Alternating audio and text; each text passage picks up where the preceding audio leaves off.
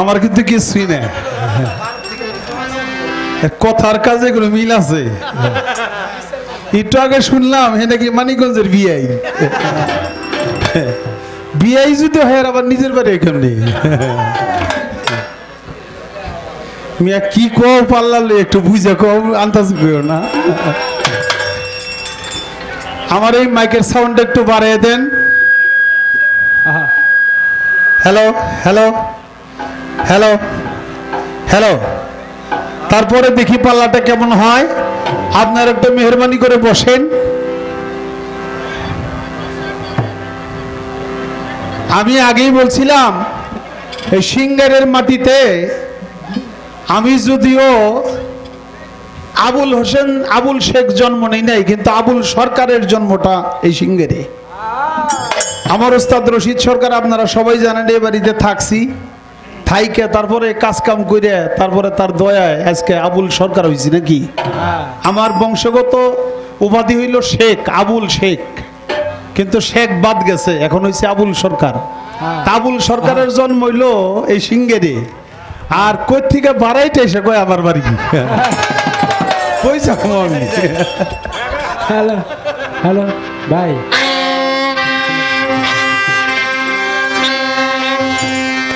হ্যাঁ।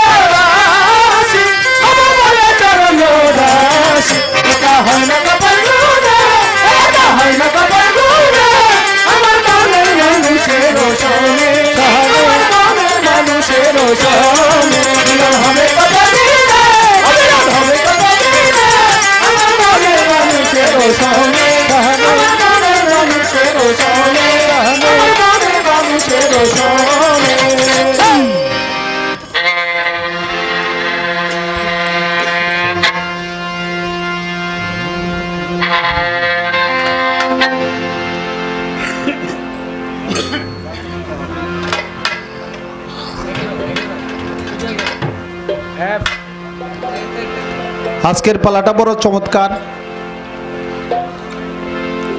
শরীয়ত এবং মারাফত, বাংলাদেশের সুনামধান্য গায়ক, দেশে এবং দেশের বাহিরে অনেক সুনাম খ্যাতি যার জনাব কাজল দেওয়ান, যার তুলনা সে নিজেই, যে কাজল দেওয়ানের তুলনা অন্য কারও হয় না। তাকে গাইতে হবে তাকে গাইতে হবে মারফতের ভূমিকায়, আমি অধম আবুল, আপনাদের গোলাম। আমাকে গাইতে হবে শরীয়তের ভূমিকায়। আমাদের উভয়ের জন্য আশীর্বাদ করবেন। আপনাদের দোয়া চাই, দয়া চাই, চরণ ধুলি চাই। গানে, ভাষায়, সুরে, ছন্দে অনেক ত্রুটি, বিচ্যুতি আমার আছে। সেজন্য আগেই ক্ষমা চেয়ে নিলাম। প্রথমবারে আমার কাছে প্রশ্ন করছে, শরীয়ত শব্দের অর্থ কি। শরীয়ত কোন দিন হইতে উৎপত্তি হলো? শরীয়ত কয় ভাগে বিভক্ত? শরীয়তের নবী কে? হ্যাঁ আমি একটা গান করি, তারপরে তার কথার জবাব করি।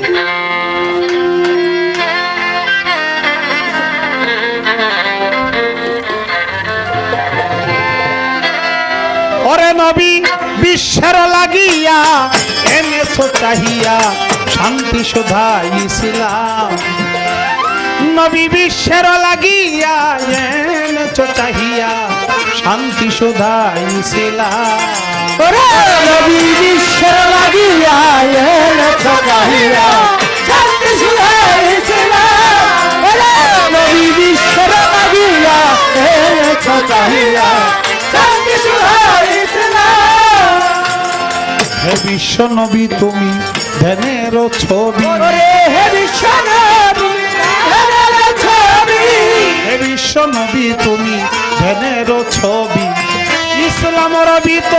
হাজারো সালাম ইসলাম রবি তোমায় হাজারো সালাম ও গো ইসলাম রবি তুমি হাজারো সালাম তুমি পাঠ করো একরা কাঁপিল হেরা অন্তর সেরা প্রভুর কালা।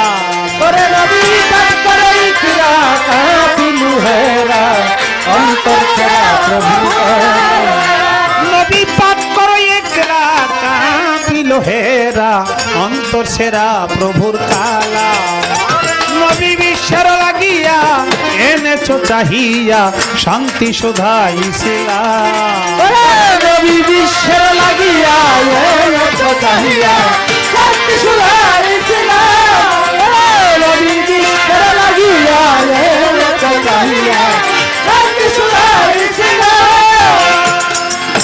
মানুষে মানুষে বাধে প্রেম পাশে। মানুষে মানুষে মানুষে মানুষে বাধে প্রেম পাশে। ভক্তি বিশ্বাসে লও তারি না। ভক্তি বিশ্বাসে লাউতারি না। ভক্তি বিশ্বাসে লও তারি নাম বাবা বিশ্ব স্রষ্টা যিনি ক্রব তিনি দিবস রজনী গাউ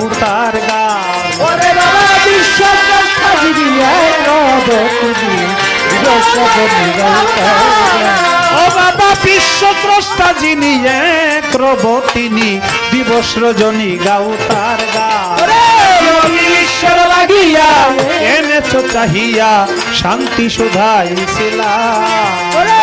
নবী লাগিয়া এনেছো চাহিয়া শান্তি সুধাইছিল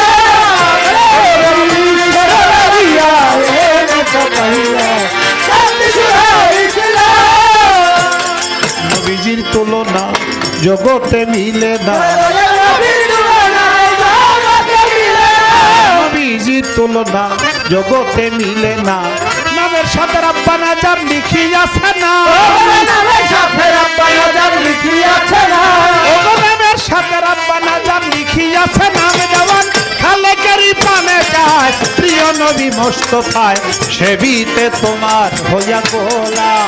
ওরে দেওয়াল খালে করি পালে তাই প্রিয় নবী মোস্তফা জমিতে আমার হইয়া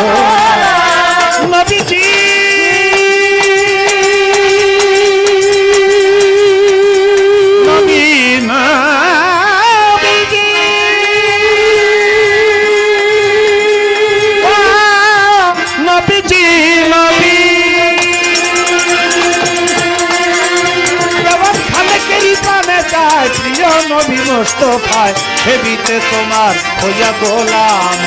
নবী বিশ্বের লাগিয়া এনেছো চাহিয়া শান্তি সুধাইছিল ওরে! নবী বিশ্বের লাগিয়া এনেছো চাহিয়া শান্তি সুধাইছিল নবী বিশ্বের লাগিয়া এনেছো চাহিয়া শান্তি সুধাইছিল নবী বিশ্বের লাগিয়া এনেছেন চাহিয়া শান্তি সুধা। ইসলাম। ইসলাম ইসলাম অর্থই শান্তি। যেই যুগে আমার দয়াল নবী আখেরি জামানার নবী যাকে সৃষ্টি না করলে আল্লাহ তামাম জাহান সৃষ্টি করতেন না। সে হুজুরপুর নূর প্রথম এবং তিনি শেষ। যখন দুনিয়াতে পদার্পণ করেছেন তখন যে যুগটা ছিল ওই যুগের নাম ছিল আইএমএ জাহিলিয়াতের যুগ।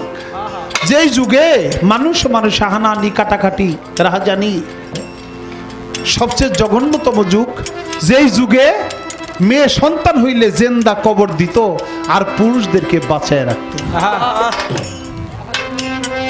আমার নবী করিম সাল্লাহ সাল্লাম এসে মানুষে মানুষে মমত্ব বহুত ভালোবাসা, মানুষের প্রতি মানুষের সম্মান, একের আর একজনের উপরে অধিকার এই সব কিছু প্রতিষ্ঠা করল আর বলল, ছেলে এবং মেয়ে আল্লাহর তরফ থেকে আসে। যেই মেয়েরা দুনিয়াতে সে তারা কি করে? তারা কামাই করবে না, শুধু খাবে, তোমরা যা ভাবছ তা না। রেজেক দাতা ইয়া রাজ্জাকু আল্লাহ তালা তিনি যাকে সৃষ্টি করেছেন তারা হার তিনিই দিবেন। অতএব তোমরা এই জঘন্য কর্মটি করো না, তোমরা নিজেরাও মায়ের পেটে জন্ম নিয়েছো। আজকে যদি মায়েদেরকে, মেয়েদেরকে তোমরা জেন্দা পুঁতে রাখো, কবর দাও, তাহলে পৃথিবীতে সৃষ্টি বাড়বে কি করে? এই ভালোবাসা দিয়ে এই পৃথিবীকে সুশীতল করল, আলো দান করল, অন্ধকারাচ্ছন্ন কেটে গেল নবীর আলোতে, নবীর আলোকে। সেই নবী দুনিয়াতে ইসলাম প্রতিষ্ঠা করল অর্থাৎ শান্তি প্রতিষ্ঠা করল। তাই গানে বলছে নবী বিশ্বেরও লাগিয়া এনেছেন চাহিয়া শান্তি সুধা ইসলাম। ইসলাম। শেষে বলেছে নবীজির তুলনা জগতে মিলে না। নামের সাথে রাব্বানা যার লিখিয়াছে নাম দেওয়ান খালেকের মনে চায় প্রিয় নবী মোস্তফায় সেবিতে তোমার হইয়া গোলাম। মানব জাতির আদি পিতা আদম আলাই সালাম। তার আগে কোনো মানুষ নাই আদি পিতা আদম আদি মাতা মা হাওয়া। উভয়ের ঘরে জোড়ায় জোড়ায় সন্তান হইত। অবশেষে হজরত আদম যখন মৃত্যু মুখে পতিত, তার সন্তানদেরকে ডাইকা বলল, তোমরা আমার সন্তান, তোমাদের উপর একটা ওসিয়ত আমি করে যাই। তোমাদের যারা সন্তান তাদেরকে তোমরা করবে, তাদের সন্তানদেরকে তারা করবে। এইভাবে ওসিয়ত থাকবে যতক্ষণ পর্যন্ত, যতদিন পর্যন্ত আহমদে মুস্তফা, মোহাম্মদে মুস্তফা সাল্লাহ সাল্লাম এই ধরাধামে পদার্পণ না করবে। কি সেই ওসিয়ত যে আমার নামে কলেমালা ইলাহা আদম সফিউল্লাহ। এই কলেমাটা বাদ হয়ে যাবে কারণ আমি কোনো কলেমা থাকবে না। একমাত্র মোহাম্মদ রসুল্লাহ সাল্লা সাল্লাহ সাল্লামের নামে কলেমা প্রচলন থাকবে। যখনই সেই মোহাম্মদ রসুল দুনিয়াতে পদার্পণ করবে, তোমরা সমস্ত নামের কলেমা বাদ রেখে তোমরা পাঠ করবে, লা ইলাহা ইল্লাল্লাহ মোহাম্মদুর রসুল্লাহ সাল্লাহ সাল্লাম। আদমের এক সন্তান শীষ আলাই সালাম তিনি আল্লাহ নবী। সে জিজ্ঞাসা করল, পিতা, একবার বলেন আপনি মানব জাতির আদি পিতা, আমরা সবাই আপনার সন্তান, পৃথিবীতে যত লোক আসবে সবাই আপনার সন্তান হয়ে আসবে। আদ, যে মোহাম্মদ রসুল্লাহ দুনিয়াতে পদার্পণ করবে তিনি কি আপনার সন্তান হয়ে আসবে? যে হ্যাঁ সন্তান হয়ে আসবে। তাহলে পিতার নাম থাকবে না, সন্তানের পুত্রের নাম থাকবে। এর কারণ কি আমি জানতে পারি? আমার নবী বলল যে হ্যাঁ অবশ্যই জানতে পারো। কারণ যেই নবীকে সৃষ্টি না করলে আল্লাহ পৃথিবীর একটা ধুলিকণা পর্যন্ত সৃষ্টি করতেন না। সেই নবীর নাম অবশ্যই থাকবে। সেই নবীর মর্তবা এত। এই কারণে সেই মোহাম্মদুর রাসুল্লাহ যদি জন্ম যদি দুনিয়াতে না আসবে, যদি পয়দা না হতো, সৃষ্টি না হতো, তাহলে আমি আদমকেও আল্লাহ বানাইতো না। বেস্তের ভিতরে যতদিন ছিলাম বেস্তের ভিতরে এমন এমন কোনো কামরা দেখি নাই, যেই কামরার মধ্যে মোহাম্মদ নাম অঙ্কিত নাই।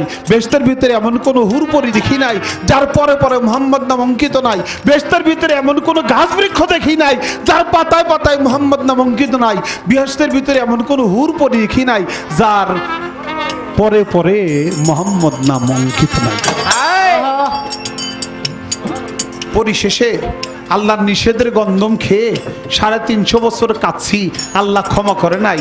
যখনই মোহাম্মদ রাসুল্লাহর নামে ক্ষমা চাইছি আল্লাহ তালা আমাকে ক্ষমা করে দিছে।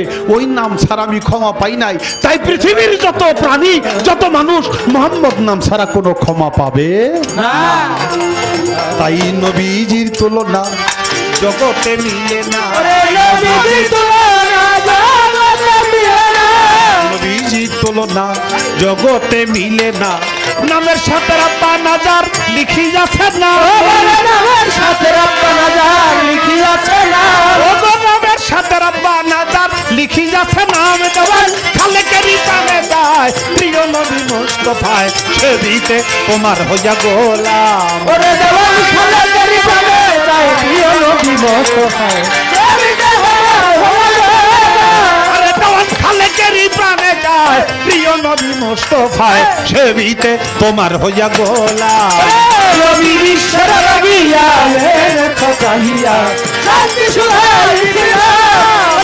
রবি বিশ্বের লাগিয়া লেখো কাহিয়া শান্তি সুধাইছিলা রবি বিশ্বের লাগিয়া লেখো কাহিয়া শান্তি সুধাইছিলা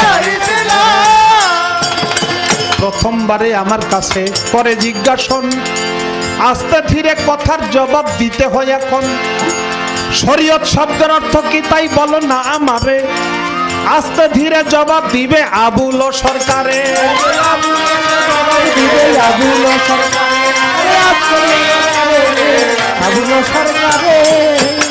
শরীয়ত শব্দের অর্থ কি? শরীয়ত কয় প্রকার? শরীয়তের নবীকে কোন দিন হতে শরীয়ত আরম্ভ হলো? এই পৃথিবী যবে আরম্ভ হলো, সৃষ্টি হলো, শরীয়ত তবে থেকে শুরু হলো। আল্লাহ তালা বলেছে আওয়ালুমা খালা করলে নুরি, সর্বপ্রথম আমি আমার মোহাম্মদী নূরকে সৃষ্টি করেছি। নূর সৃষ্টি হয়ে জপতে লাগল লা ইলাহা ইল্লাল্লাহ লা ইলাহা ইল্লাল্লাহ লা ইলাহা ইল্লাল্লাহ। সত্তর হাজার বছর পার হয়ে গেল আল্লাহ তালার তার জবাবে বলল মোহাম্মদুর রসুল আল্লাহ তুমি যেমন বলেছ নাই কোনো বাস্য আল্লাহ ছাড়া। আমি আল্লাহ বললাম আমারও কেউ নাই মোহাম্মদুর রসুল ছাড়া। এই শরীয়তের শুরু। সেই যে শুরু হলো আজও পর্যন্ত কাল কিয়ামত পর্যন্ত শুধু কিয়ামত নয় একবারে হাসর পর্যন্ত এই শরীয়ত বিদ্যমান। বাবা আদম আলাই সালাম দুনিয়াতে এসে যখন একজন জেদ্দার একজন সরন্দীপ মাহাওয়াত বাবা আদম দুজন কান্নাকাটি করে। তখন কানতে কানতে কানতে কানতে অবশেষে মোহাম্মদুর রাসুলাল্লাহ এই নামের দোহাই দিল আল্লাহ তোমার আরস কান করায় যে নামটি আমি দেখেছি সেই নামের উসিলায় পাক পাঞ্জাতর উসিলায় তুমি আল্লাহ আমাকে ক্ষমা করো। আল্লাহ তালা বলে এই নামটা আগে বললে আমি এই নামের উসিলায় কত আগেই তোমাকে ক্ষমা করে দিতাম। সুবহানাল্লাহ। ক্ষমা করে দিল। আদম হাওয়ার বিবাহ বন্ধনে আবদ্ধ হলো। জিব্রাইল এসে আদমের বিয়া পড়ায়। বিয়া পড়ায় কি দিয়া? মহারণা ধার্য করে দশ বার নবীর নামের দরুদ আল্লাহম্মা সল্লিওয়ালা সৈয়দনা মাওলানা মোহাম্মদ। এই দরুদ দশ বার পাঠ করে তারপরে তার মহারণা পরিশোধ করে এবার বিবাহ বন্ধনে আবদ্ধ হয়। এটা হলো আইন এটা হলো নিয়ম এটা নীতি। এই নিয়ম নীতি আইনের নাম হলো শরীয়ত। আচ্ছা বাবা, আদম আর হাওয়ার যদি বিয়ে না হইতো শুরু বাজাও। আদম আর হাওয়ার যদি বিয়ে না হইতো, এমনি এমনি মিলামেশা করতো, আর সন্তানের হইতে, ব্যাগগুলি জারজ কইতো। আর যখনই নাকি একটা নিয়মের মাধ্যমে বিয়ে হয়ে গেল এবং দশ মর্তবা শরীফের মাধ্যমে তার এই বিবাহের মহারণা, দেন মহারণা আদায় করা হয়ে গেল, স্বামী আর স্ত্রী দুইজনে বৈধ সম্পর্ক হয়ে গেল। এখন মিলামেশা হইল, এখন সন্তান এলো, এটা হলো বৈধ সন্তান। এই শরীয়ত শব্দের অর্থ হলো আইন, শরিয়া শব্দের ধাতু দ্বারা, শরীয়ত শব্দের উৎপত্তি। এই আইনের নাম হলো শরীয়ত যেটা আদম আলাহ সালাম থেকে শুরু হয়েছে দুনিয়া। শুধু সেই বিবাহ পর্যন্তই না আদমের সন্তান হলো মা হাওয়ার সন্তান হলো আর তো দুনিয়াতে কোনো মানুষ নাই। এবার এই ছেলে মেয়ের অর্থাৎ আপন ভাই বোনে বিয়ে হবে এটাও শরীয়ত তবে সেই শরীয়তের বিধানটা কি ছিল? সেই বিধানটা ছিল যে একই সাথে যেই জোড়া সন্তান ভূমিষ্ঠ হয়েছে দুইজনে একই সাথে মায়ের স্তনপান করছে। এই দুইজনের বিবাহ দেওয়া যাবে না। একজন আগের বছরের ছেলে পরের বছরের মেয়ে। নাহলে পরের বছরের ছেলে আগের বছরের মেয়ে। যেটার দুধ এক বছর আগে পরে খাইছে, এই দুধ পাল্টে বিয়ে দিতে হবে। এইভাবেই বিবাহ শাদী দুনিয়াতে প্রচলন হইল, এটার নামও শরীয়ত। এখন দুনিয়াতে মানুষে মানুষে ভরে গেছে, এখন আর আপন ভাই বোনে কোনো বিবাহের প্রয়োজন নাই, এখন এটা রদ বদল হয়েছে তেরো জন পুরুষের সাথে তেরো জন নারীর বিয়ে দেওয়া যাবে না, এটার নামও শরীয়ত।